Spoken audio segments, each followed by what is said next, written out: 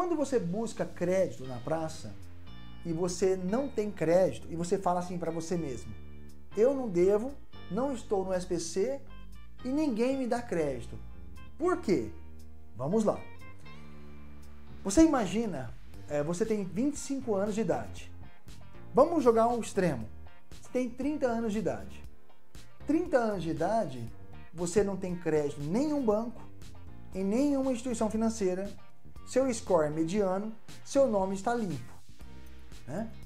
E como então você justifica não conseguir ter crédito?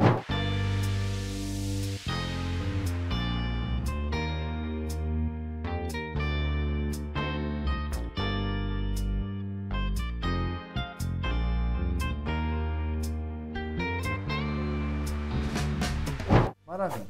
Como vocês sabem, é, os bancos, cada um tem uma forma de calcular o crédito e todos falam do segredo do crédito, né? Por que isso? Porque os bancos hoje é, ainda não se comunicam entre si em todas as modalidades, né?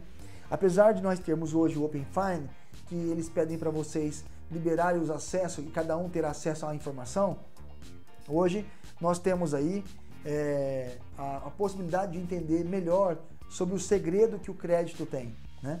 Então, o que eu vou falar para vocês aqui é baseado a um compilado de informações de estudos que a gente trabalha com os bancos e eu vou absorvendo o que cada banco vai me falando e eu vou transformando isso no, no crédito. Né? Então, esse banco faz isso, esse banco faz tudo. Então, a gente vai juntando tudo e tem um compilado de como seria o segredo do crédito que esses bancos fazem da gente. Né? Então, assim, é muito complexo o assunto inteiro para falar em 15 minutos, em meia hora. É, seria duas, três, quatro horas para explicar bem explicado todo esse assunto, né? Mas eu vou tentar ser o mais é, próximo daquilo que eu deveria falar para que vocês entendam mais ou menos, para você tentar montar aí para você um, um, uma situação que você consiga levar vantagem, tá? Então vamos lá. É, hoje o mercado ele trabalha com várias variantes e possíveis acertos e erros, né? Então, é comum que a gente hoje é, tenha, por exemplo, um score de 1000 no Serasa, um score de 800 no Boa Vista, um score de 300 no SPC Brasil e um score de 900 no CODE. Né? Lá no CODE, por exemplo, que é a união dos cinco maiores bancos do país, que é o Bradesco, o Itaú, o Santander, a Caixa Econômica e o Banco do Brasil, esses cinco grandes bancos são acionistas do CODE. O CODE, é, cada um deles carrega 20% das ações. E dentro desse universo do CODE, existem outras instituições financeiras que ali estão. Né? Isso não quer dizer que o score do CODE seja o verdadeiro ou o melhor, que o score do Serasa seja o verdadeiro ou o melhor, que o score do SPC Brasil seja o verdadeiro ou melhor, e que o, o score do SCPC Boa Vista seja o verdadeiro ou seja o melhor. Tá? Isso quer dizer o seguinte, que o score de, dos birôs de crédito, que as instituições financeiras usam, né, desses quatro pilares de crédito e os CDLs locais da sua cidade, dentro dos ACIRPs, existem aqueles CDLs locais. E o CDL local existe é, essas instituições que trabalham com o SPC Brasil. Né? Então o que acontece? Quando você sabe que esses quatro pilares, CODE, SPC Brasil, SCPC Boa Vista e SPC Serasa, você sabe que cada um deles tem uma forma métrica de cálculo. Cada um usa o seu Credit Behavior Score para fazer análise de crédito. E aí, dentro desse universo, cada um deles trabalha de uma forma. Só que isso não basta. Os bancos trabalham também com a sua forma métrica de cálculo. Então, o Bradesco tem a sua forma métrica de cálculo, o Itaú tem o dele, o Santander tem o dele, a Caixa tem o dele. Por exemplo, se você chegar na Caixa Econômica e falar qual é o meu score, o Zênio vai te falar que o seu score é A duplo A, B duplo B, C duplo C, é C menos, C mais, D, D mais, D menos, C menos e é, E. O Itaú, por exemplo, ele trabalha com essas variantes que eu vou mostrar para vocês aqui, tá? É, o satisfatório é o pior score deteriorado, né? O bom menos seria o ruim, ruim de mercado.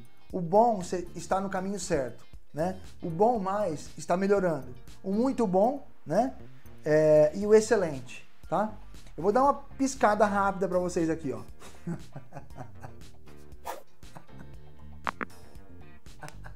Eu mostrei. Quem viu, viu. Quem não viu, dançou. Mais uma vez. Ai, ai. Eu, dei uma pincelada e tirei, né? Então, assim, cada banco ele tem uma forma métrica de cálculo, tá? Cada banco busca uma métrica de cálculo. Então, o que acontece? Ah, esses riscos de crédito que cada um tem, além de ter esses birôs como pilar, de ter o seu próprio score, né, que eles fazem, é, de ter as suas variantes de relacionamento, de ter a liberação do Open Fine, de ter o cadastro positivo, de ter o score do Serasa, score do Boa Vista, do Code, do Brasil. Vai observando o tanto de coisa que eu estou falando para vocês que é formado o crédito, tá? Além disso, ele busca o quê? Patrimônios, renda, é, e-mail, telefone, patrimônio que você tem, investimentos, é, relacionamento, reciprocidade, é, produtos, clientes que têm idade de 18, 19, 20, 25 anos. É, só para você ter uma ideia, quando você compra um, um, um veículo e você pede para a seguradora fazer uma cotação de seguro, qual é a probabilidade de um menino de 18 anos a 30 anos, é, do carro que ele compra, por exemplo, um Corolla, é, ele pegou um Corolla. Corolla é carro mais para quem? Para senhor, né? Aí ele pega um carro, por exemplo, um, um Cherokee, né?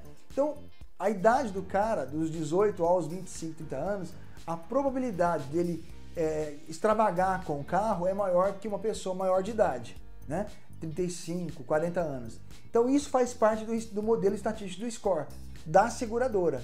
Né? Eles determinaram que esse perfil é o que tem mais acidente, acontece mais isso e tal. Então eles colocam um risco maior para esse grupo de pessoas que tem um carro, né? Então, quando você olha é, esse, esse monte de coisas que eu estou falando para vocês, esse monte de pontos que dentro do universo matemático são pontinhos que gera esses todos formados de, de score, né? Então, é, um Golf, que falou aí o William tal. Então, carro jovem, menino jovem, acontece o risco maior. Então o seguro de carro dele vai ser maior, né? E às vezes a seguradora nem aceita o seguro dele. Dependendo do tipo de carro, nem, nem pode ser zero quilômetro. Seguradora não quer esse carro, né? Pelo perfil de pessoa que está dirigindo o carro, né? Então, é, tudo isso faz parte do modelo estatístico que o banco tem, que a instituição financeira tem, que o banco de dados forma da gente, né?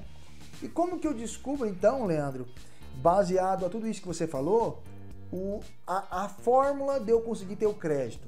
E aí sim, cada caso é um caso. A instituição financeira ela faz uma análise positiva de um, positiva de outra, negativa de um, negativa de outro. Vamos lá.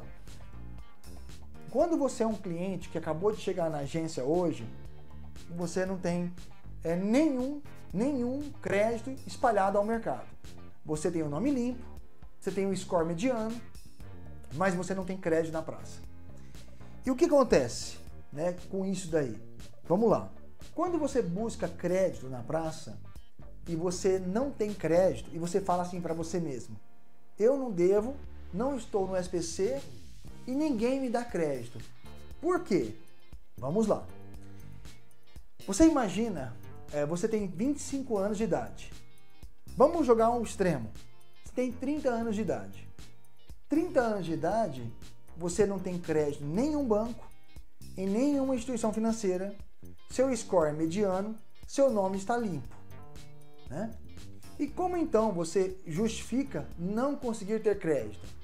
Então eu vou tentar colocar para você de uma forma clara aqui para você entender o segredo desse crédito.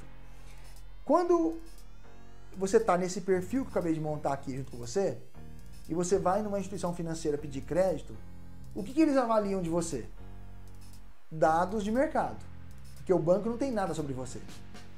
O próprio banco que você busca crédito, ele não tem informações dele, no banco de dados dele, sobre você desta instituição. Mas ele tem dados, modelagem estatístico do mercado sobre você. Então, seu CPF, onde você mora, onde você nasceu, é, os seus últimos cinco endereços onde você morou, os seus últimos cinco telefones que você teve, os seus cinco, e cinco e-mails que você colocou em determinado lugar, eles puxam, os cinco últimos carros que você teve, se você trabalha registrado ou não trabalha registrado, se você paga FGTS, se você não paga, se você é autônomo, se você não é autônomo, né? Então, baseado ao que você tem de informações de mercado, esse banco ele puxa no banco de dados as informações sobre você. E quando ele puxa essas informações sobre você, ele puxa que você não tem crédito em lugar nenhum. Então, se você não tem crédito no Bradesco, no Itaú, no Santander, na Caixa Econômica, Banco Brasil, é, Safra, BRB, Banco Nordeste, Banrisul, Banco do Amazonas, você não tem no C6 Bank, não tem no Nubank, por que, que eu vou te dar crédito? Aos 30 anos, aos 30 anos, ninguém te deu crédito. Por que, que eu vou ser o primeiro a te dar crédito? Se você não tem crédito aos, aos 30 anos de idade, é porque alguma coisa está pegando em algum dos seus documentos através das modelagens de dados.